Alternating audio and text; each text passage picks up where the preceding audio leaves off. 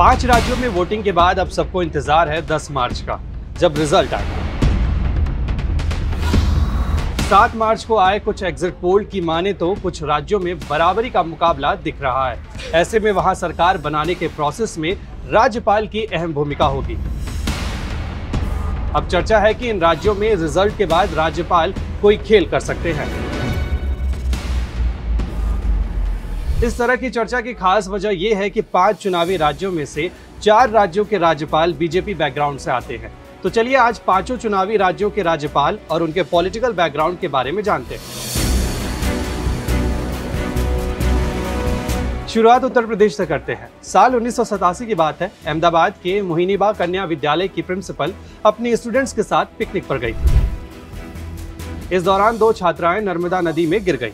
उन्हें डूबता देख बिना वक्त गवाए खुद प्रिंसिपल भी नदी में कूद पड़ी और दोनों को बाहर निकाल लाई। ये प्रिंसिपल थी आनंदी बेन पटेल। आनंदी बेन के पति मफत भाई पटेल उन दिनों बीजेपी के बड़े नेता थे। ऐसे में नरेंद्र मोदी और शंकर सिंह वाघेला ने आनंदी बेन को भी बीजेपी से जुड़ने के लिए कहा। उसी साल आनंदी बेन बीजेपी में शामिल हो गई और गुजरात प्रदेश महिला मोर्चा की अध्यक्ष बनी। फिर उन्नीस सौ चौरानवे में वो गुजरात से राज्यसभा सांसद रही। साल उन्नीस में विधायक और प्रदेश की शिक्षा मंत्री बनी। साल 2014 में मोदी के गुजरात सीएम की कुर्सी छोड़ने के बाद आनंदीबेन पटेल को ज़िम्मेदारी दी गई। उनका पूरा राजनीतिक करियर बीजेपी और खासकर नरेंद्र मोदी के साथ ही बीता है। उत्तर प्रदेश की राज्यपाल बनने से पहले वो मध्य प्रदेश और छत्तीसगढ़ की राज्यपाल भी रह चुकी है। अब बात पंजाब की। साल 2018 की बात है। तमिलनाडु के राज्यपाल बनवारी लाल पुरोहित एक प्रेस कॉन्फ्रेंस कर रहे थे। कॉन्फ्रेंस में एक महिला पत्रकार ने उनसे कोई सवाल पूछा। पुरोहित ने जवाब ना देकर महिला पत्रकार के गाल थपथपा दिए। इस मामले को लेकर काफ़ी बवाल मचा और पुरोहित को माफ़ी मांगनी पड़ी। बनवारी लाल पुरोहित इस वक्त पंजाब के राज्यपाल हैं। वो महाराष्ट्र के विदर्भ ज़िले के जाने माने नेता हैं। उन्होंने अपने राजनीतिक करियर की शुरुआत कांग्रेस पार्टी से की। साल 1978 में वो पहली बार नागपुर ईस्ट से विधायक चुने गए। इसके बाद उन्नीस सौ चौरासी में वो आठवें लोकसभा चुनाव के दौरान कांग्रेस पार्टी से सांसद बनी। उन्नीस में वो कांग्रेस छोड़कर बीजेपी में शामिल हुए। 2003 में विदर्भ राज्य पार्टी के नाम से पार्टी बनाई। तो 2009 में बीजेपी में शामिल होकर लोकसभा चुनाव लड़ा, लेकिन हार गए। अगस्त 2016 में बनवारी लाल को असम का गवर्नर नियुक्त किया गया। फिर 2017 में वो तमिलनाडु के गवर्नर नियुक्त हुए। 27 अगस्त 2021 को वे पंजाब के गवर्नर नियुक्त किए गए।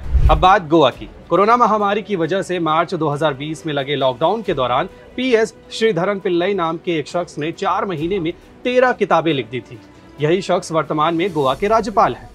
अक्टूबर 2019 में श्रीधरन पहली बार मिजोरम के राज्यपाल बने। इसके बाद उन्हें गोवा में राज्यपाल की ज़िम्मेदारी दी गई।